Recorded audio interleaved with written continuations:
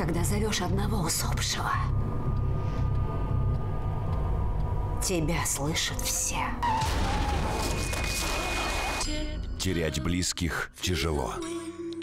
Но еще страшнее звать ушедших. Никогда не пытайся больше связаться с матерью сама. По ту сторону жизни. Астрал 3. Смотрите сегодня в 22.30 на НТК.